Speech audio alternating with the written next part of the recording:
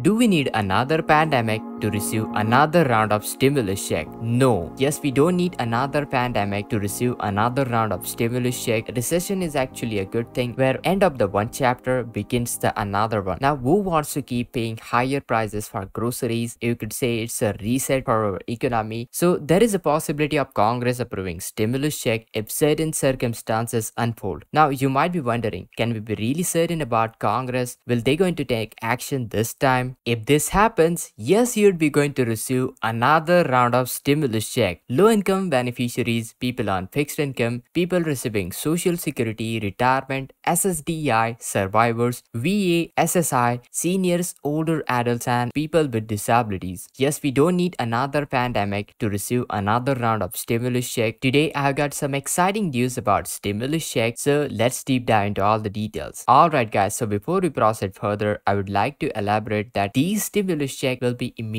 sent out if certain conditions are met. If you are low-income fixed income beneficiaries of social security, then you could be eligible for the financial benefit. However, guys, before we proceed, make sure to hit that like, share this video, subscribe to our channel. Let's jump right into all the details. So let me explain the situation. Is the next round of a stimulus check is on the verge, is on the horizon, or what's really going on when those stimulus check will be sent out quickly. I'll explain why the next round of stimulus check might be already onto the horizon. Alright guys, so let's start discussing the August 2023 Social Security SSI SSDI fixed income beneficiaries payment schedule. Let me summarize the August 2023 payment schedule. First of the month that's when SSI recipient supplemental security income beneficiaries will be going to receive their payment. 3rd of the August, that's when if you have received social security before May 1997, be sure to check out 3rd of the August. If your birth date falls between 1st to 10th of the month, check out 9th of the August for your benefits and check out 16th of the August if your birth date falls between 11th to 20th of the month. If your birth date falls between 21st to 31st of the month, then be sure to check out 23rd of the August 2023. Alright guys, so things are changing rapidly. We are in a rather unusual time with some unexpected developments, bills, packages, proposals, urgent need for the social security reform. With all those latest information, all this latest update, it's kind of a busy and uncertain time. I wanted to break down all the situation that could lead to more stimulus packages, more stimulus check, particularly targeting low-income population. And yes, we are talking about a specific group of people right over here. Now, there have been a significant events in in recent months, so it's essential to understand their impact on your finances and benefits. So let's start discussing the possibility of the Congress approving a stimulus check. So there is a possibility of Congress approving stimulus check if certain circumstances unfold. Now you might be wondering, can we be really certain about Congress? Will they going to take action this time? There is a growing likelihood if the situation continues to develop in a certain way, then there is a very high chance that you will be going to receive another round of stimulus check. Now some people may argue that Congress would never approve another round of stimulus check, but you know guys, you need to take a look at the data. History repeats itself. History tells us the truth. In the past, we have seen divided Congress come together and support American people during these financial crises. So it doesn't matter whether the Congress is divided, are they working in union? The truth is that Congress comes together when they know the impact of the stimulus check is absolutely necessary and it's essential for economy to recover. If the right circumstances circumstances arise, they will be going to likely act once again to send out the stimulus check. Now, let's focus on to the current state of the economy. You may have heard about the various reports into the news. Economy is showing signs of distress. Banks are collapsing and this could be an indicator of larger financial crisis ahead. And we have seen countries intervening and rescuing these collapsing banks. However, guys, it's likely putting a band-aid onto a problem. The actual problem is much deeply rooted right here into the economy which won't go away by simple band-aid fixes. The cracks into the financial system, the roots of the problem are still there and the situation needs to be carefully monitored, assessed and then needs to be resolved as well. The good news is actually bad news when it comes down to the Federal Reserve and their concern about the inflation. Now let's take a look at from a Federal Reserve's perspective. Federal Reserve also known as Central Bank and its chairman Jerome Powell, they closely monitor the state of the economy and to them a good news into the economy like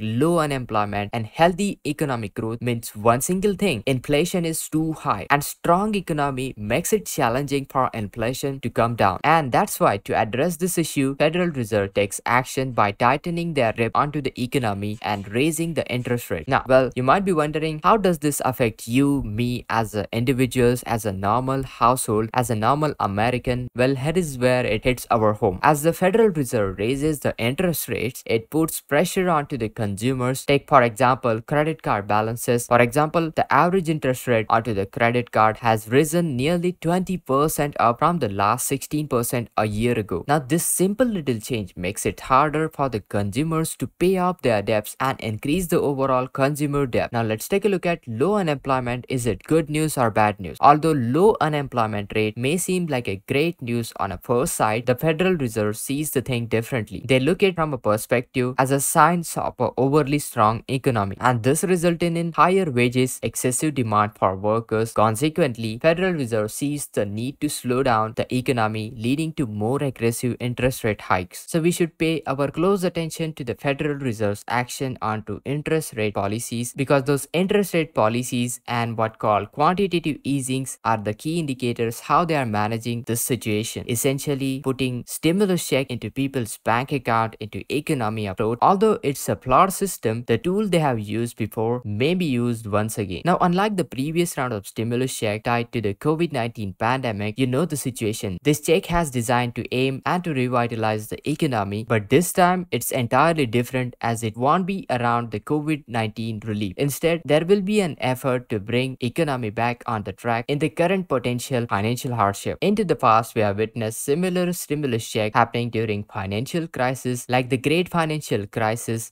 economy takes a hit and these checks becomes a tool to support the American people and businesses. The current employment data is a rising concern despite the reports of the job creation. Large corporations are announcing significant layoffs and the numbers don't simply add up. And you see how data manipulation happens. This probably suggests there is a potential manipulation happening right over here. There might be some inaccuracies in reporting those job losses. Now to effectively stimulate the economy, it's very crucial to focus on low-income recipients. Many studies shows that they have higher tendency to spend all those cash stimulus check which drives the economic activity very rapidly. So therefore targeting low-income individuals with the relief checks can have a substantial impact to revitalize the economy. If you talk about the $1,400 stimulus check sent out in early 2021, the check wasn't directly related to COVID-19 relief as it was more like a general payment. The exact reason behind those stimulus checks sent out in early 2021 are not entirely clear. Nevertheless, people received those stimulus checks and you know what? Who cares? Once you receive the money, who cares? We are all happy about it regardless of the specific purpose. But here is the crucial point. The next round of a stimulus check, if there is a next round, then it will likely serve a different purpose altogether. It won't be for another COVID-19 relief package because COVID is already gone. Instead, it will be more likely focused on revitalizing the economy considering the current inflation or bringing down the economy back from its current state. Now, we have seen the similar kind of a situation into the past where great financial crisis happened and during those economic challenging times, we have received those stimulus checks. You can think of a recession as a great reset. You can think of recession as a reset for our economy. When economy experiences a significant downturn, it can actually help bring down the inflation. Now, trust me on that, recession is actually a good thing. You could say it's a reset for our economy where end of the one chapter